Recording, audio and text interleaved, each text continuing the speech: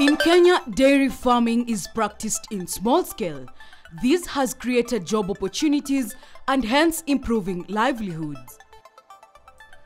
On our show today, we visit Nelson Sirma, a dairy farmer in Uasin Gishu County who is rearing five highly productive cows in his quarter acre piece of land. The administrative police officer by profession kicked off this venture three years ago with four ushers and one Frisian breed cattle. Saisi wale ng'ombe niko nao wengi ni aina ya Asia. Asia ndio nimeifurahia sana, ngawa niko na Frisian moja ambaye ni huyu.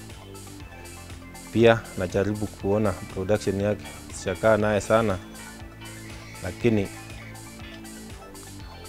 huwa pia napenda Frisian sababu maziwa yake huwa ni mingi kidogo kuliko ya Asia, lakini sababu ya challenges kama chakula ndio huwa na prefer Asia kidogo, sababu huwa nakula kidogo, but pande ya maziwa pia si kama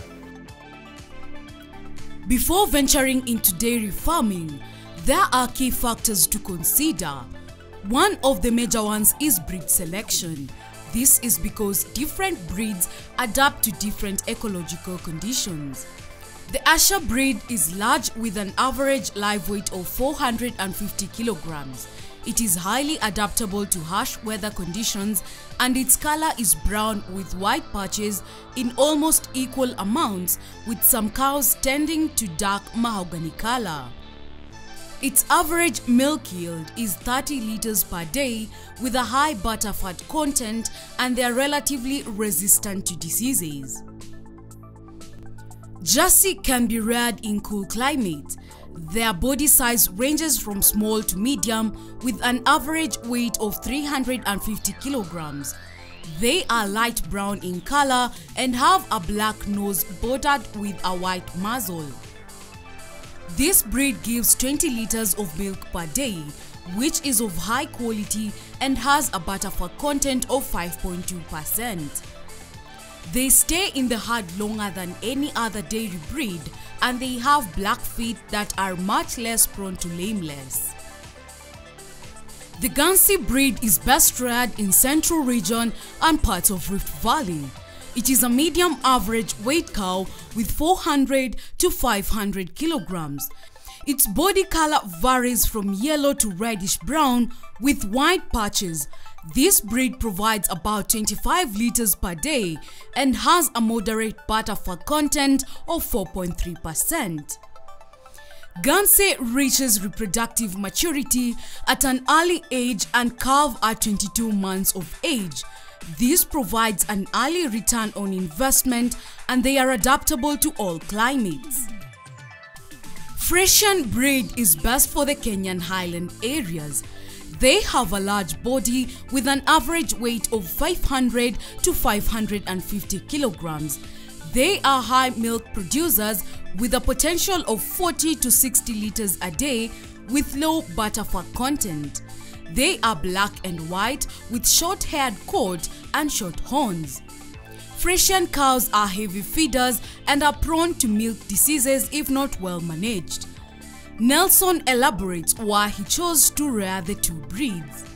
hapa kwa hii shamba tunatumia AI ambayo tunapewa na kampuni ya Brookside ambayo mahali tuna supply maziwa. Huwa wana, tunawaita wanakuja wanapandisha ng'ombe ndio tuweze kupata hizo ndama. Hao ng'ombe huwa analisha na chakula aina tofauti.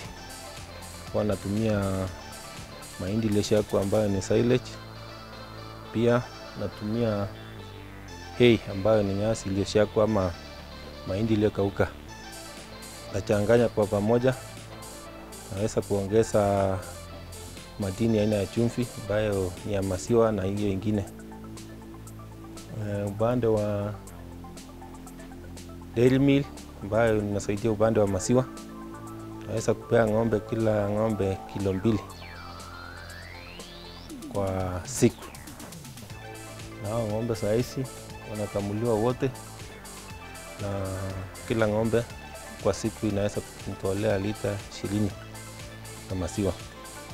Many agricultural experts compare a dairy cow to a factory.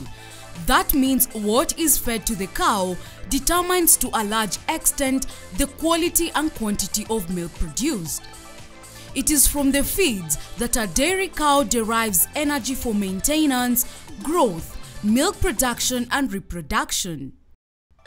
It is therefore important that a farmer knows the nutritional requirements of a dairy cow to provide adequate rations to meet its production and reproductive requirements. Frisian huwa wanakula sana, lakini kulingana na huyu ni ile medium Frisian ambayo huwa haikuli sana. Frisian yenyewe original ambayo si chafuka hapa huwa wanakula chakula mingi kukombea na Asia. Asia huwa wanakula although they are eating continuously, si kama Frisian. Asia unakula kidogo, anashiba, anaenda anarudi, anaendelea kula. So unaona hiyo chakula ni almost same. Chakula hii ya kawaida ambaye ni silage na hiyo hay nimechanganywa, huwa inapewa mara mbili, asubuhi na jioni, na pia wakati wamesha kula hiyo sasa ni daily meal wa, wa- wanapewa kama top up after sasa wamekula, wanamwagiwa juu ya chakula, wanaendelea kukula hizo ndio waweze kuja kukamuliwa after chakula kuisha, tena jioni wanapewa ingine. so ni mara mbili kwa siku.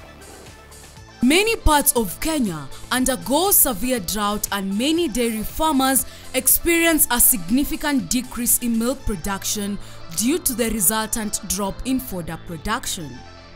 Although producing own fodder crops for animals is known to cut costs, many small scale dairy farmers in Kenya steer away since this requires huge chunks of land and takes time to grow. Nelson has, however, taken this alternative feeding method that comes in handy during the dry seasons. Huwa tunafanya